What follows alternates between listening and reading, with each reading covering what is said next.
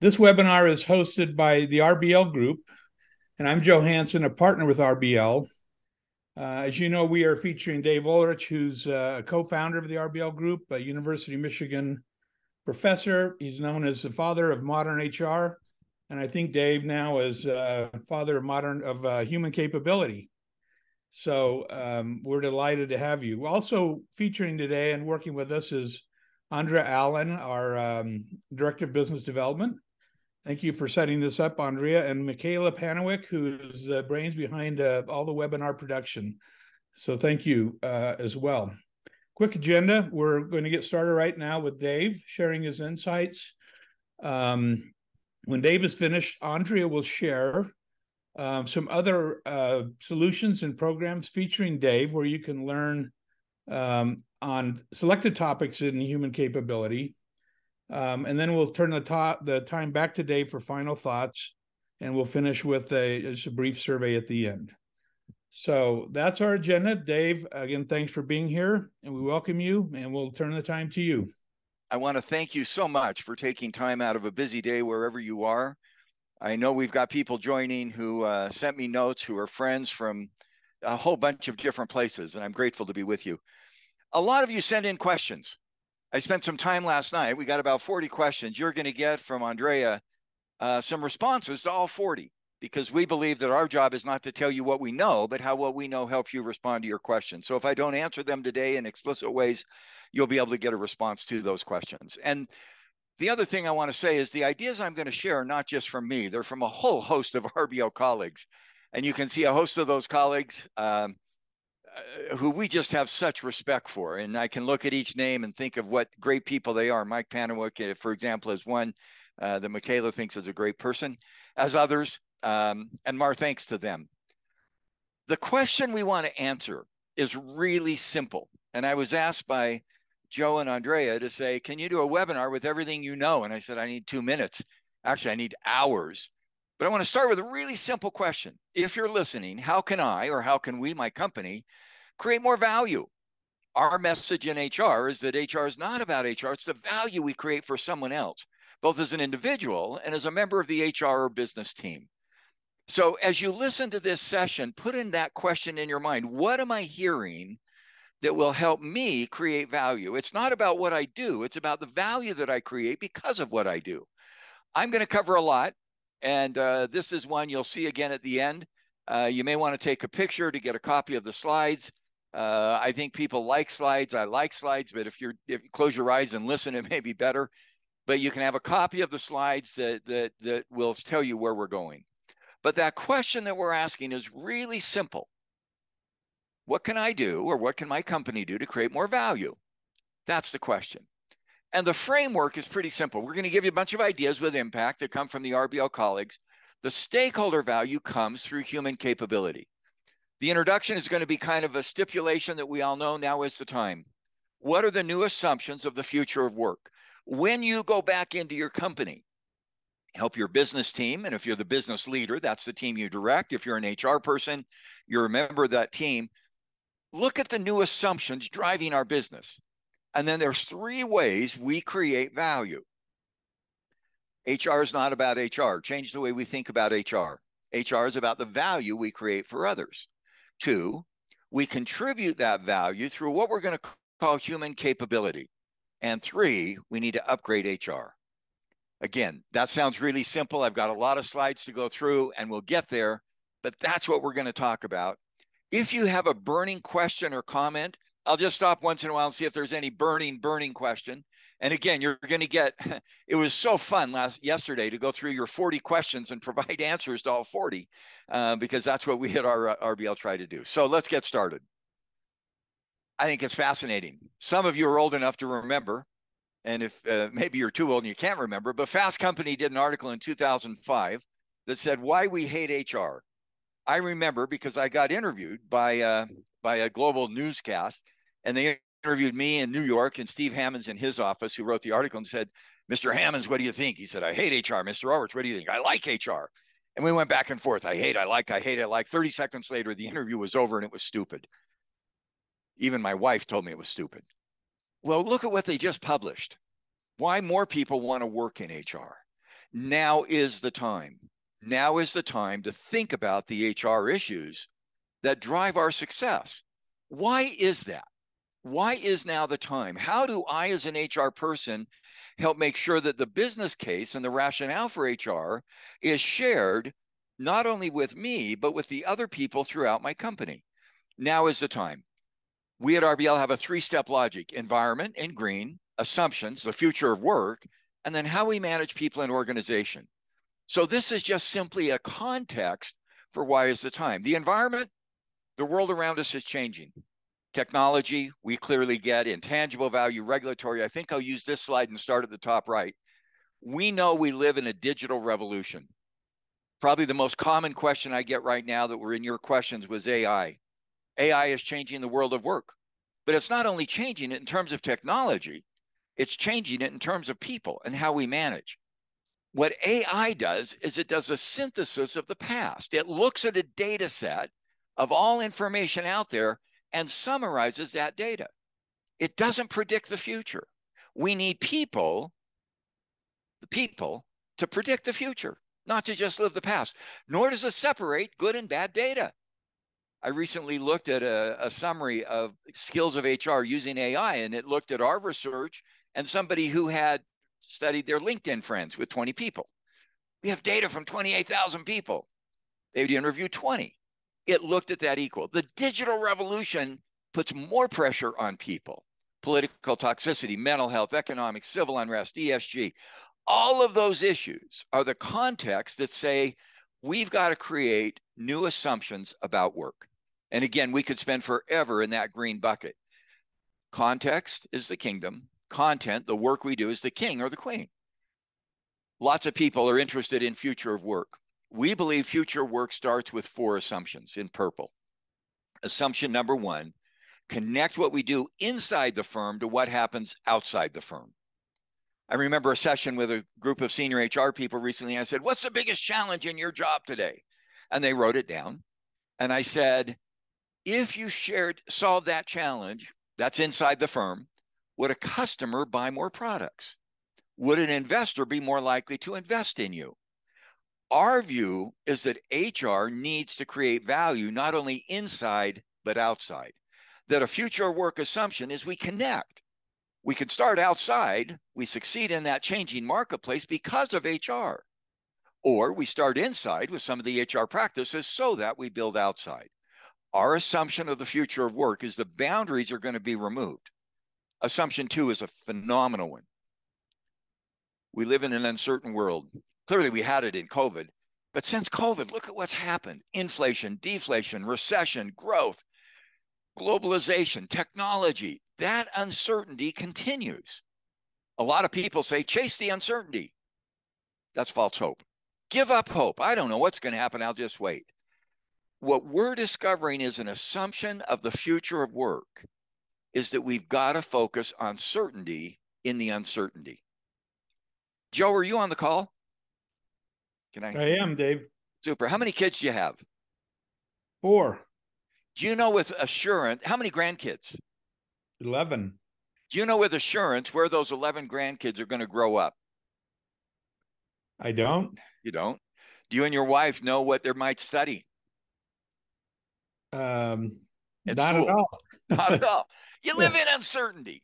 Joe, what do you and your good wife know about how you'll feel about your grandkids. No, and I pick your grandkids because I don't know how you feel about your kids. But how do you know how you'll what what will you and your wife feel about your grandkids that you absolutely know?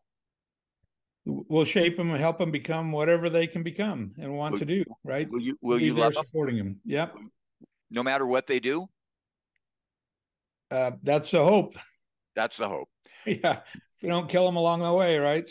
By the way, for Michaela running, I don't have copy. I can't see any pictures. So I can't see anything but my slides right now. So I can't see Joe. But I hope you could feel Joe's certainty in a world of uncertainty. I hope in our world today, an assumption of the new world is we harness uncertainty not by chasing it, but by finding certainty. Assumption three. Assumption one, inside out. Assumption two, certainty. We now know Joe will love his kids. Um, and uh, I was going to ask if any of his kids attempted or had tested that love, but I won't ask. We live in a world of paradox. I love listening to people talk about from to. We're moving from operational to strategic, from long term to short term, or short term to long term, from command and control to a compassion and care.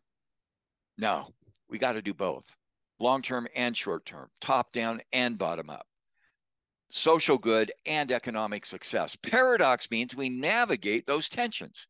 In a company we worked with once, we identified 10 paradoxes they might face. You can pick a number. Um, number three, do I work independently or do I work collectively? And the answer is both. And so we believe that in the future of work, we have and also. How do you learn to navigate those inherent paradoxes? I think those are exciting paradoxes. And uh, number eight gets a lot of attention right now. Do we show care, compassion, empathy, or challenge competitiveness? And the answer is yes. I love this exercise. You look at where you focus today, ABC, one, two, or three, and where you need to focus tomorrow to navigate it. And finally, assumption four personalization. Personalization means we have to care for each person. We've gone through a whole series of employee engagement work, satisfaction, motivation, engagement, commitment, experience.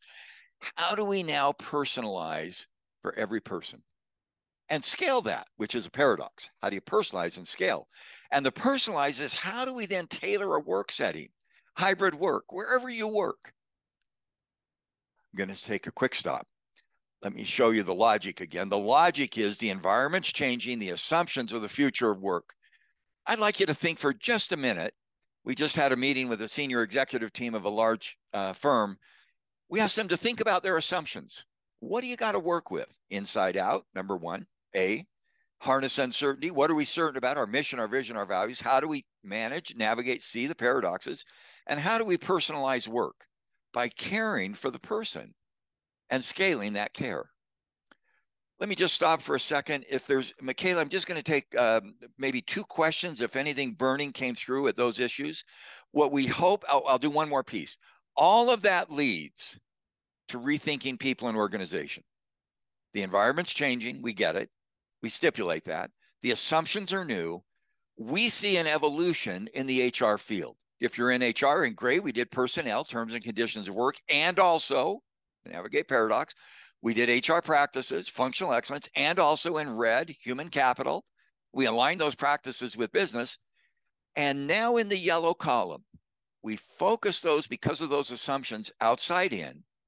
And two, we deliver organization, leadership, as well as talent. We call that human capability. So that's the first piece I wanted to cover. Now is the time to reinvent HR. The Fast Company article is not a fluke. This is a new set of work assumptions that are putting HR center stage for boards, for executives, for investors, for customers, and for regulators. Michaela, just if you could pick two questions or summary of questions, I'll try to respond to those.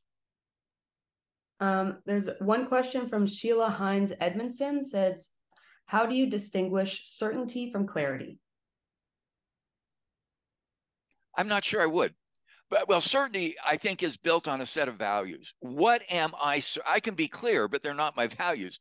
I'm clear that there may be a political leader i don't like. And by the way everybody can name one. Um, i'm clear about that and i may be certain. You can be clear. For me the, the certainty comes from a set of values and beliefs. Joe loves his children. That's a set of values. It's also clear. So if i have a two by two clarity and, and certainty can go together. I can be clear but it's not certain. I don't know what's going to happen. So I I'm not sure that distinction is is incredibly powerful, but I'm intrigued. Clarity usually goes with certainty. Great question to think about. Thank you. One more. Um, another question from Gaurav uh, Kapil. My burning question there is too much to do. I'm in a startup, and wherever I'll focus, there is work to be done. How to start, how to balance what business wants today and what I see that they would need tomorrow you know how we usually do it is we ask you, what do you think you should focus on? I think Gerard, the right question is to say, what should I focus on that will create value for somebody else? Because sometimes what I want to focus, and there, there'll always be too much to do. Gerard, if you're young um, and you're younger than me, I know that you'll always have too much to do. You'll always have too much to do. And, and that's going to often be true. And so deciding where I focus is not what I want, It's what I can do that will help deliver value to someone else. And that becomes a criteria. We've actually done a paper on that that you can find. And if you send a note in, we'll make sure that you get a copy of it. We've come up with a really clear opportunity formula. It starts with impact, which is what I just said. How can what I do impact someone I care about? Two, benchmarking. How am I doing? Do I need to get better at it? And three, variance.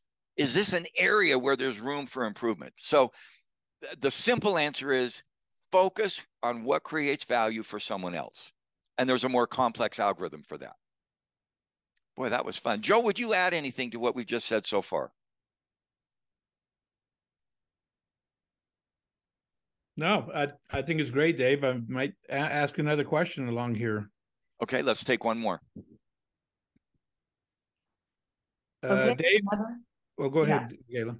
Another question would be um, from Dr. Verenda, and it's Can assumptions be dysfunctional? Oh, Dr. Verenda, what do you think? Absolutely. Because I can have very bad assumptions. Um, I hope those assumptions, I can have bad, very bad assumptions, but hopefully those assumptions that we just laid out, let's go through them real quick. We laid out four assumptions that, that we think shape the future of work. Um, hopefully those assumptions, correcting the inside and the outside, harnessing uncertainty with certainty, navigating paradox, they could be dysfunctional if they take you away from the creation of value.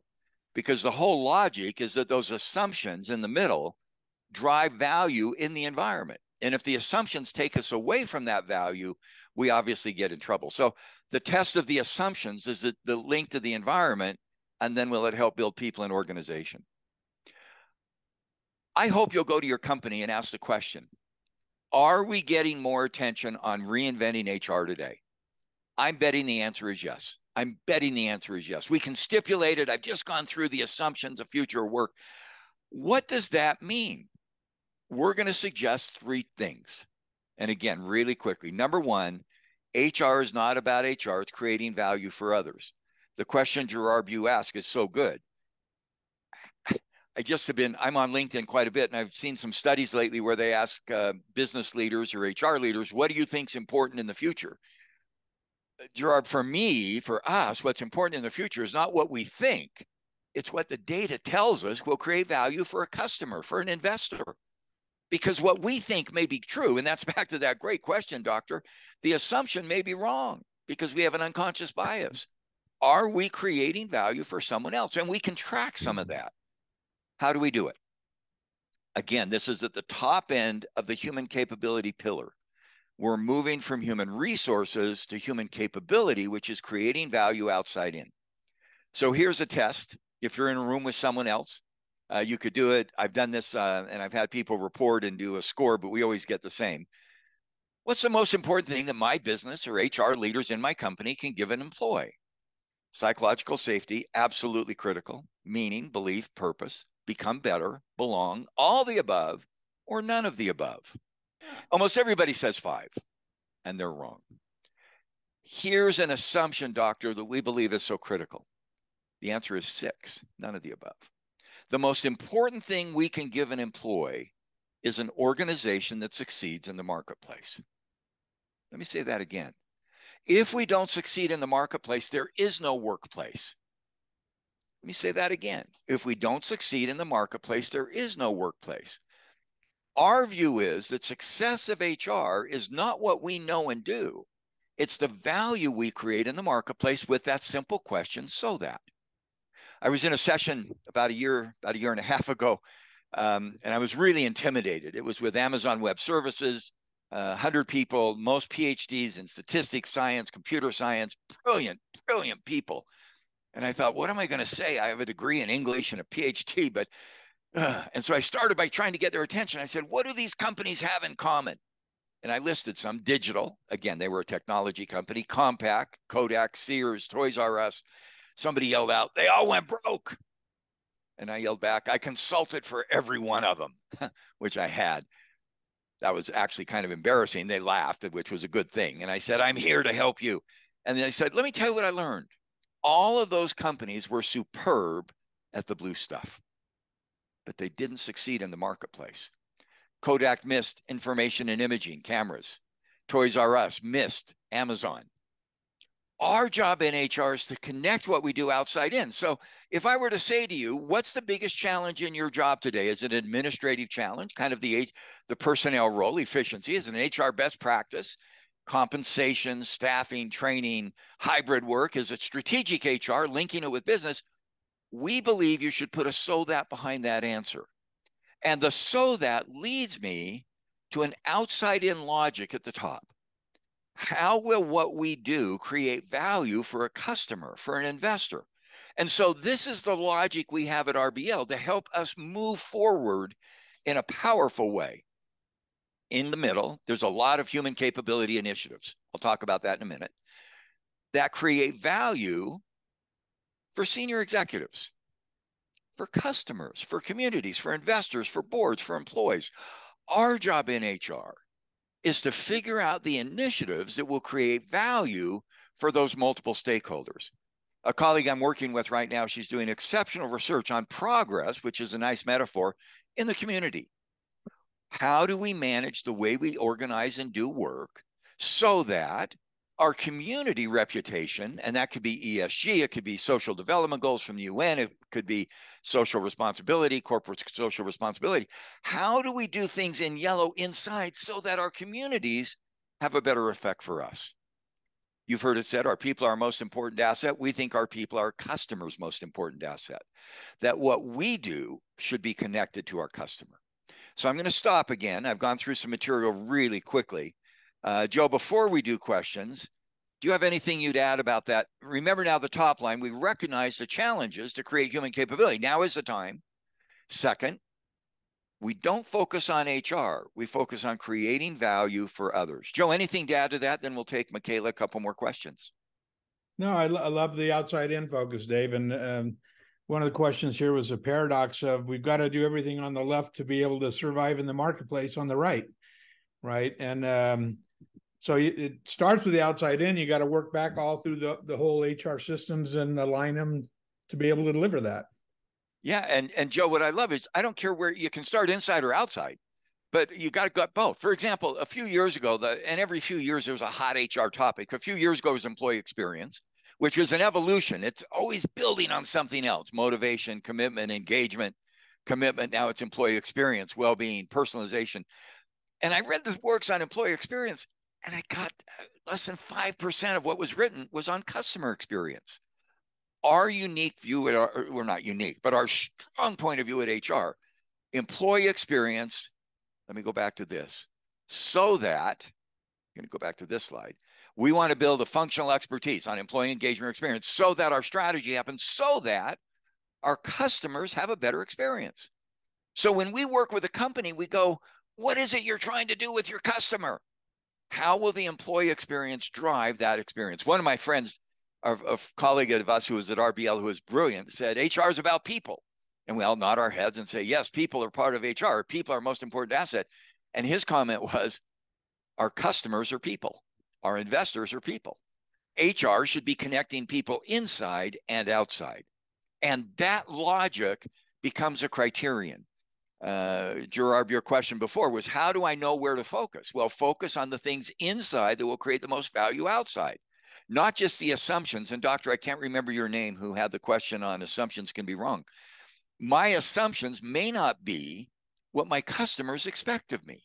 And so we want to begin to build that inside out. Let me stop and get a couple questions if we got them just to see what people might say. Absolutely. So um, Elsie Lowe said, would you use the ROI on people as a way to value HR's contributions? I'd use that as one. Um, I think one of the better ROIs, let me go back to this chart, is with investors. One of the things we have found with investors is that 80% of a company's market value is intangibles. So for us, the ROI of HR is return on intangibles. How does what we do in human capability in yellow drive investor confidence in our future? Wow.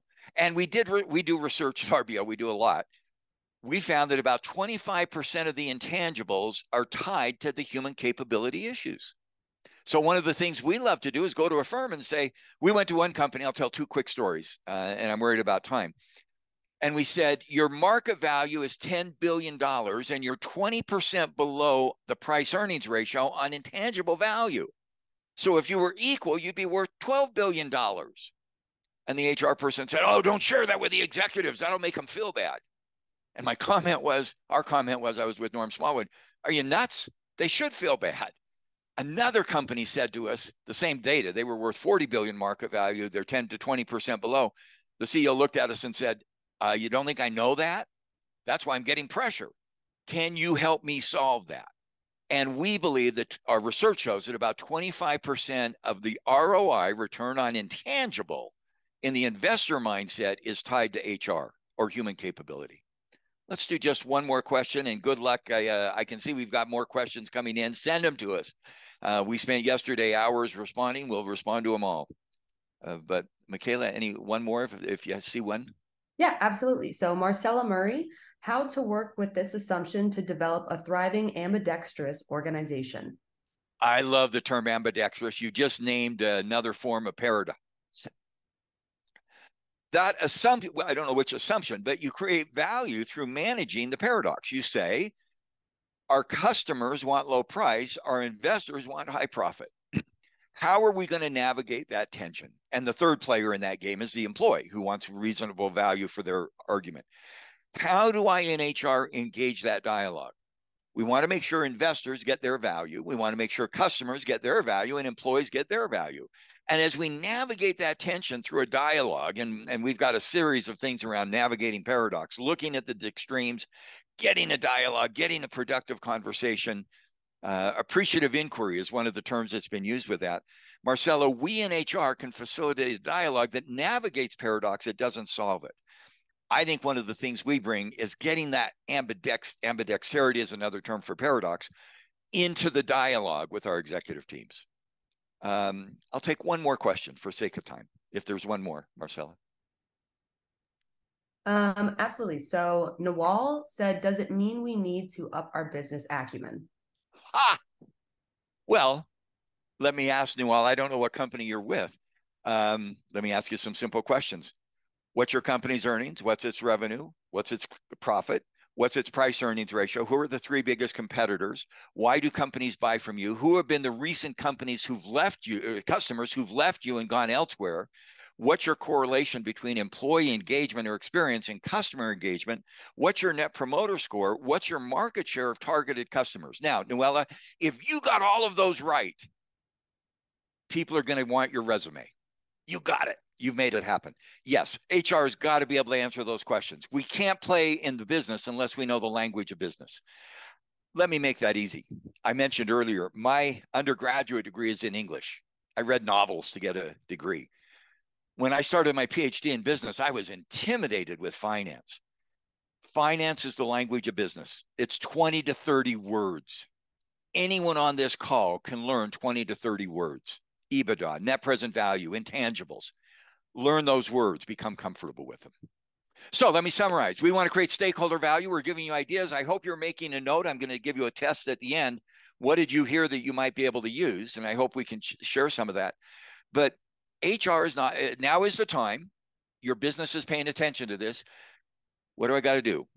HR is not about HR, it's creating value. That's an assumption, it's a way of thinking. Number two, what do we do in this human capability column? We create marketplace value. Now, at the top of that column in red, what do we deliver? This is a great discussion. HR's at the table. Some people say HR should know the business. We've been after that for 20 years. We're at the table. What do we talk about? We do a test if we had a smaller group. How many of these initiatives has your company tried in the last three years since COVID? Agility, yes. Technology, AI, that's a hot topic. Diversity, hybrid work, leadership, culture, leader, reskilling, customer focus, skill based organization. Whoa. Sometimes when we go into that meeting and we throw the latest, here's choir resignation, Monday misery, I don't know what it's called anymore, Monday something. It just feels like I'm in a Disney ride at Star Wars and all these things flashing at me, and we get cynicism. We need a taxonomy. Now, I know that word is not common in English or any other language. And I know the article at the bottom left, you've probably all studied. It was one of the articles I did uh, for my research in my early career. Classification is the science of simplicity. And we've all lived with it. Go to a restaurant that has no categories. So here's a main course, here's a coffee, here's a dessert, here's a salad. You go, oh, that's weird. Go to a library with just random books. Have you ever been into a used bookstore with no organization? Select a car that just has random cars, investments without a portfolio, a class registration.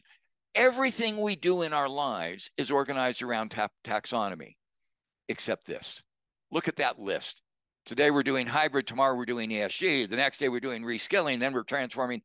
We need a taxonomy. At RBL, we've been very careful around the word human capability we believe there are three things, four things that create HR value. It's no longer piecemeal, it's integrated. In red, and I'll show my fingers again. I don't have a camera. I can't see. I can't see myself. But um, in red, my fingers represent talent. Anything related to people, the individual, the competence, the workforce. In blue, my fist is the organization, the capability, the workplace. In green is leadership. Those three factors come together through the HR services in purple, the functional HR department. We believe that all of those initiatives can fall into those three categories. Am I managing my people, employee primacy, resignation, reskilling, well being, diversity? Am I managing my organization in blue, technology, reinvention, culture, collaboration? Am I managing leadership? Am I managing in purple the HR transformation?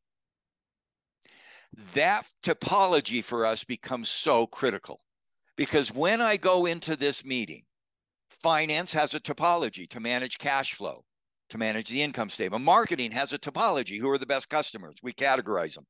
Operations has a topology, taxonomy. In HR, we ask three questions. How well do we manage our talent, our organization, our leadership, through our HR services. For us, that becomes absolutely critical. And it becomes a foundational piece for growing the HR profession. That's what human, that's talent, capability, that's organization provides.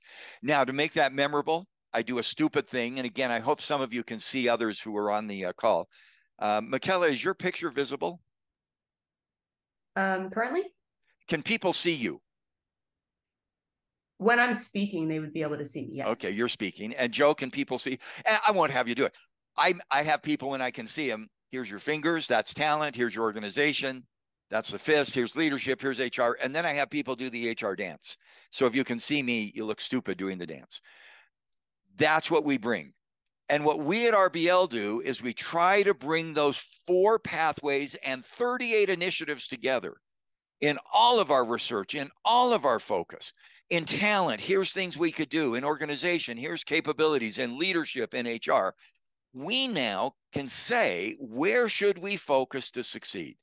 And the logic that we get, again, back to Gerard's second question, I want to invest in some of those talent initiatives so that we deliver stakeholder results.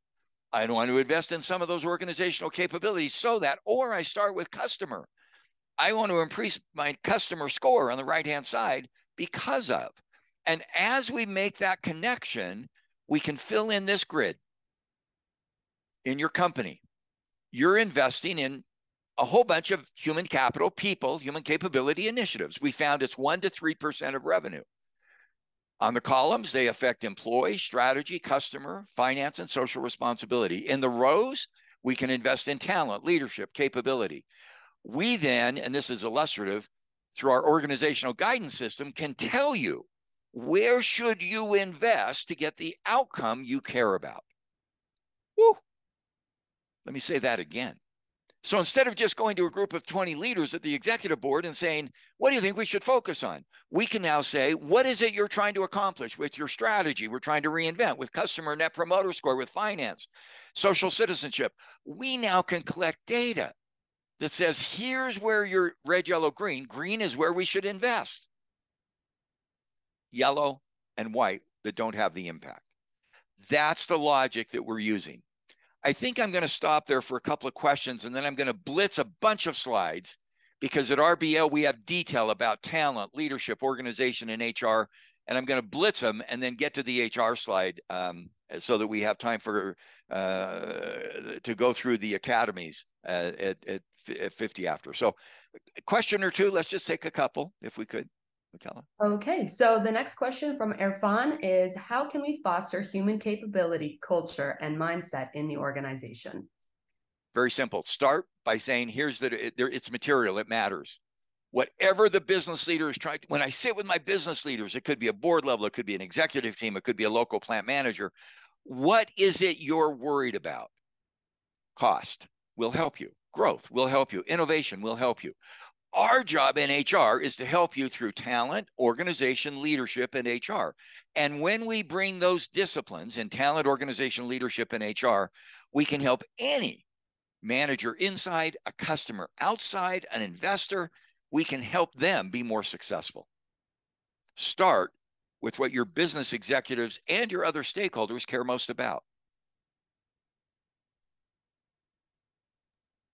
Another great question from Icarus Lim. How do we measure intangible values? How do we attribute them to each HR initiative? I'm not sure we can attribute them by initiative yet. We're not quite that rigorous yet. We're getting there. The easiest way to look at intangibles, and there's a whole research literature on that out of Baruch Lev in the finance area. Compare your company's price earnings ratio with your competitors over a decade or your cost of capital. What do I have to pay to borrow money if I'm borrowing money versus my competitors? That indicator tells you the intangibles that either the inve- the investor with stock or with uh, uh, with cash or with uh, loans makes on your company. For example, if you have a very high confidence, you'll pay 5% interest. If you have low confidence, you may pay 10%. And that's the intangible piece you can get. Our research partitions that into what drives that percent. And we found that 35, 30 to 35% was driven by financial discipline. Do you make the money you promise? 25 to 30% was driven by strategic direction, and 25% was driven by human capability. That's the research we have. I'm going to blitz for a minute. So put on your thinking hats, and if you need to get a cup of coffee, get a cup of coffee so you can think fast. Talent, organization, leadership. In RBL, we believe there's three dimensions of talent in those three dimensions competence there's seven eight things we can do plus commitment plus contribution. These are the 10 practices of individual competence. Organization we believe that we've written a lot of books that's not relevant. We believe that an organizational evolution has occurred that it's not just about your skills or your hierarchy or your systems it's about building capability in the marketplace and so we try to create a capability of what you're known for and good at.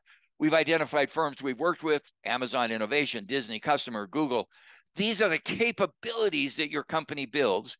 We love to help you audit those.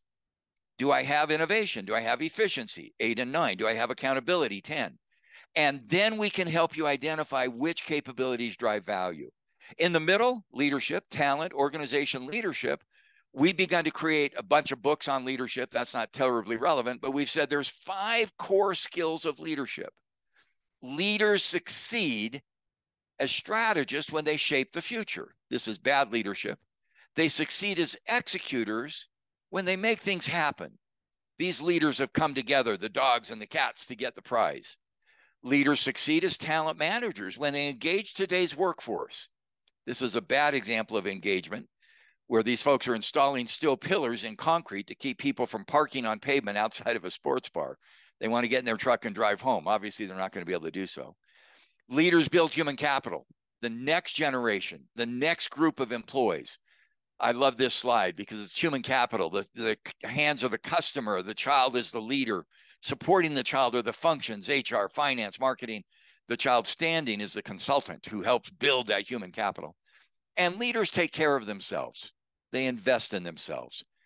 These leaders all have the personal proficiency and credibility to be successful. Your company probably has a competence model. Look at these nine rows. At RBL, we love to build leadership. This company, if you look at those five competencies strategy, execution, talent notice most of their competencies are in personal proficiency. We'd suggest they clean up that model. This company has almost nothing in personal proficiency, right hand column, but a lot in execution, deliver results, challenges, makes decisions. We want you to build leadership for the future. And the leadership is about the assumption. Strategists create certainty. That's the assumption. Executors navigate the cultural paradox of inside and outside. Number two. Number three, talent managers personalize work, the assumption about work. Number four, human capital make others feel better about themselves. And finally, leaders care for themselves. Number five. Take a breath. I have one more piece, but let me stop and I'll do just one question, but I'll do the quick summary. We want to reinvent HR. This is so exciting to see progress that's coming. The headline now is the time. Number one, HR is not about HR, it's creating value for others. Understand how what we do creates value for the stakeholders inside and outside. Number two, through human capability, talent, organization, and leadership. I think I'm going to do number three, and then we'll see if there are questions and go through the uh, the the last piece with the uh, academies. What does that mean for HR? What does that mean for HR? In the last uh, year, every major consulting firm, and some are probably on the phone, have done a great job looking at how do you view HR operating models. You've probably seen some of them, McKinsey, Gartner, they're out there. We've also done this work. I said we love research. We've done a competence study. Kayleen has done such a good job with Aaron and Mike Ulrich. We've studied data. In the most recent round, we had 28,000 respondents. We've had 120,000 people. We do a leadership capital index. We've got hundreds of organizations, thousands of investors. We've got a guidance system that Harrison has been a part of. Now, with over 10,000 organizations, 38 now human capability initiatives. And we've done with Mike Panowyk a study of 7,000 firms who report their results to the SEC. We believe this data tells us what HR contributes, and we've seen an evolution. Based on our data and those consulting firms, we've identified 10 dimensions for building a great HR department. You got to have a great reputation. What are we unified about as a department? Number two, we got to serve all of our stakeholders, the employees inside, the business leaders, customers, investors. Number three, we got to have a purpose statement. Number four, we got to get structured right. And that's what a lot of these HR operating models are about. Number five, we got to build human capability. We've talked talent, organization, leadership. Six, we got to get great HR analytics. Six, seven, we got to use digital. AI technology is so critical to the new world. Number eight, we've got to innovate practices. Number nine, we've got to be great HR people. And number 10, we've got to build great relationships. Again, if you work with us at RBL, our focus is not the activity, but the value it creates. We've tested those nine, we hadn't yet tested digital in this study, but we're testing it now. We test those 10 dimensions against the value they create for customers, for investors, for executives. Here's what we found. Everybody likes to look at number four. Let's restructure HR, specialist, generalist, working with agility. You know what? It doesn't drive results. Number one and number 10 do. Does our HR department have the right reputation? Do we have a reputation focused on creating value for others? And number 10, it's not the structure, that's number four, it's the relationships. It's not your role clarity, it's your relationships working together. And then number nine becomes the essential driver. What set of skills do we need? And I hope some of you have seen that research. Our headline on skills, and I mentioned it in the study uh, that we've done, it's this study, HR Competence. We've done it for 35 years. For years, we looked at competencies as a role business partner, change agent, credible activist. Today, we look at the competence of HR as a verb. You're not a business partner, you accelerate business. You're not a change agent, you're, you're not a HR uh, expert, you advance human capability, you mobilize information. And we believe that those HR competencies, well, we've tested it, drive results. Whoa, let's just take, we have a few minutes. We have three minutes before uh, we're going to turn it over to questions. But Michaela, uh, and then we'll turn it to Andrea. Joe, anything you would add before we do the questions that I've not covered as well as I could have in that discussion? I covered a lot. I'll come back to the summary, Dave, at the end, but let's let's take some questions. Okay. Okay, so first question. Uh, what are the best ways to measure the effectiveness of HR initiatives to check if we are on the right path in terms of contributing to the organization's success in the marketplace? There's three ways. One is you measure activity. Did I do it? How many people got trained? Two, you measure a perception. What did I think of the training? And we'll do a survey of this one to five. Did you like the training? Three, did I learn anything? Behavior change. I think the fourth most critical way to measure and what we believe in, those are all good, by the way. the Uh, uh, did it change my behavior? Did it change my mindset? Did it did it uh, did I do things differently? But we love to correlate the activity with the outcome. So in our ability to improve HR through human capability, we say, here's 10 initiatives in talent. Which of those initiatives will guide your company to better deliver customer value? And we can hmm. now track that. And so the value, and I love the question, the value of tracking the outcome is that we're not just getting your perception. Did you like it? Because I could like that's kind of the assumption question that the doctor asked. I like that a lot, but it didn't make any difference. Let's look at what makes a difference with our customers, with our investors, with our social citizenship, with our strategic reinvention. That's the work that we feel so strongly about. And I think we think that's the next wave of the analytics game. We call it guidance. And uh, Harrison has done some great work with an organizational guidance system that will let you uh, figure out some of that work. A great question from Steve Hatch. How do you pull an organization or company out of a reactionary cost only focus and help our HR function be more broadly focused on human capability and strategy? Steve, it's a great question. And uh, 20, 60, 20. 20% of the time, the executives are doing it. 20%, no matter what you do, it's not going to happen. And you're going, well, it's not 20, it's 15. But think of those two extremes of a distribution. For that middle 60%, Steve, I don't think we start with HR. I said it before. I think we go to the executive team and say, what do you have to do to succeed in the marketplace? Eastman Kodak, you had to reinvent, you had to get out of film.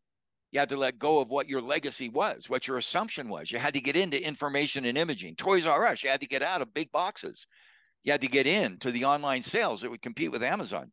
I think, Steve, we start with marketplace, customer, investor, and then we show how linking the HR human capability initiatives to that agenda will be helpful. And then the final thing is, I really, and it's come up in three questions the importance of prioritization one of the mistakes we make is we try to be all things to all people. I love the Walmart story. When Sam Walton started Walmart, he wanted to open 50 stores in the United States, and many of you are not from here. There's 50 states. Do you open one per state or 50 in one state? And the answer was 50 in one state. We prioritize, we focus. And that's that prioritization. I, I shared earlier with Gerard's question. We have a three step formula impact on customers, investors, status, how well we're doing, it has impact and we're doing it well. Well, we don't need to improve. It has impact. We're not doing well. We need to improve. And third, variance. There's not a standard answer here. Um, in, in a lot of compensation, the payroll system, there's no variance. The cost of payroll is about the same, whichever firm you do to outsource it. So we're not going to get success there. We want to build an opportunity set. Maybe one more and then we'll turn it to Andrea, if that's okay. Or we can turn it to Andrea as you wish now. Uh, why don't we do one quick one? So uh, Ramesh asked a question. Uh, Dave, in your opinion, will HR continue to be managed by HR professionals, or will we see more of business leaders taking over HR? Yes, both. I think to I've often been asked, the test of good HR is the HR person becomes CEO. That grates me a little bit. That says HR is not a legitimate career. HR is legitimate. We don't have to be CEO or business leader to be good. I think the boundary between I, I saw a picture a few it was probably six months ago. There were three people. They happened to be women. They happened to be chief HR officers, and this gets back to the assumption uh, that the doctor raised. And the and the comment was, "What do you see? Do you see gender? Do you see HR? Or do you see a business person?" My answer is the first thing I see in identity is, and these were happened to be CHROs I knew. I saw three exceptional business leaders exceptional business leaders who happen to be in HR and who happen to be female, and you manage those, those are important. But I hope that we have HR people who have the skill set that came up earlier to create value in that marketplace. Thank, thank you, Dave, for um, your summary of uh, human capability and, and your unique skill of pulling this together, synthesizing, integrating. And for those on the webinar and our our clients here, our our um, colleagues as well, we wanted to have Andrea share some other opportunities we have where we feature Dave and in the various aspects of human capability where you can learn even more.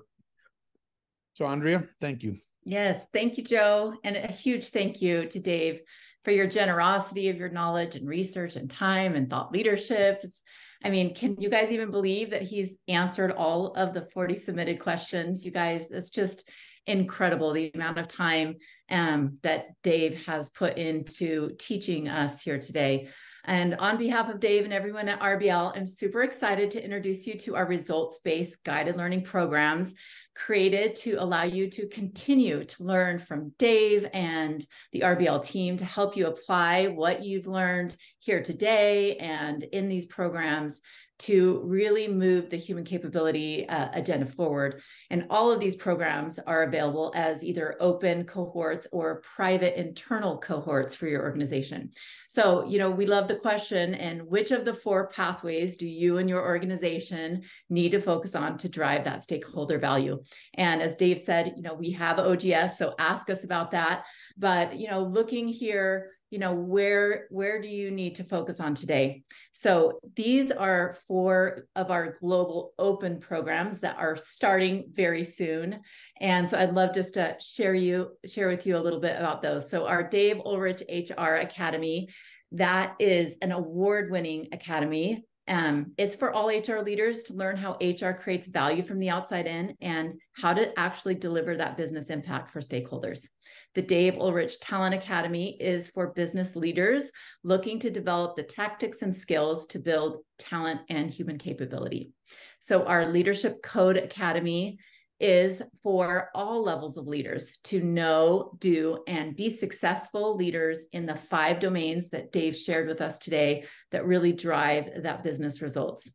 And then we have really exciting news. The Leading for HR Excellence Masterclass is Dave's newest program. And this is for our senior HR leaders to really understand and implement the 10 critical dimensions of a high performing HR department. Again, that Dave so so beautifully and yet quickly touched upon today. So if you're wanting to dive deep in with Dave in that masterclass, please join us. It starts October 23rd.